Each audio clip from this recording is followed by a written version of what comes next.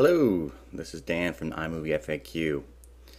Now, before you get started with a with a large project, this one um, this one's about two hours uh, of total footage. You, are going to want to go ahead and and uh, you know keyword all your footage and, and find the spots that you you want to remember to get in there.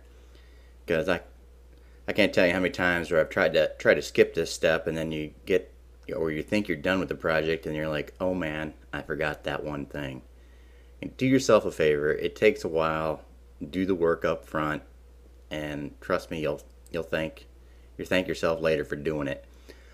Um, iMovie makes this this pretty easy. This is one of the few things I could say that uh, I like better than than Final Cut. Um, and you probably won't hear me say that a lot. You can go through here and uh, You'll see I've modified um, from the default keyword list and added my own because I know my target audience. They want to see helicopters crash and they want to see the ladies and they want to see the helicopters fly. Um, the other stuff's nice. I might use it. Uh, but, you know, basically, you know, I've gone through here. Whoops. Oh, here's another little cute thing iMovie does. If you come up here and go to View and Playhead Info, it'll actually show you uh, all your footage information and how it's uh, keyworded. So, you know, I've run I've run this particular clip through oops, through the uh, the people finder, so it, it, it found the one person and people and wide, but I've also you'll also see it's you know it's added my funny and ladies keyword because uh, it's my friend Ed there messing with the ladies. But um, so it's a what it's important to do that, and and the way I did that is like if I if I wanted um, a flight, I would just uh, click flight, go in here, and and you see how that changed to a little key. I just highlighted it, and then bam, you get that flight keyword added to that whole footage. Now, if you uh, like on this one, you'll see if you look at that little blue bar, it ends right there because I only selected that much. And that's, of course, now that's not a flight. That's uh, Ed and the ladies. So we're going to go ahead and remove that from that. Oops.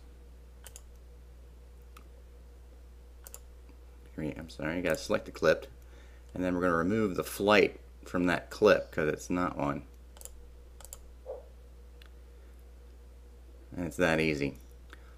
Um, also, I've gone through and once you have the clip selected, you can come up here and when you find stuff that you just definitely don't want to remember, you're going to go ahead and bookmark. You just right click um,